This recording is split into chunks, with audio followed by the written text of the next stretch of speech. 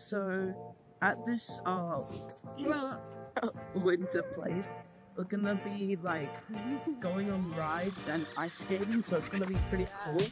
And Um, dangerous. there's also gonna be like little like fair games, like um knock down the clown or whatever, or like hit the hit the mole or something. I, I don't know.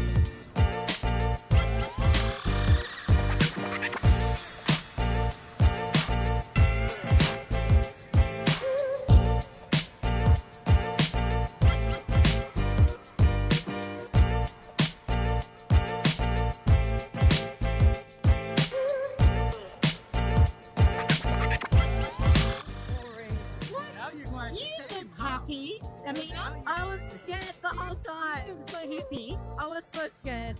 No, I was scared. It was How many boring. stars out of five? Uh, three or Three? eight. Eight? So it's like, yeah. Wait, this is four.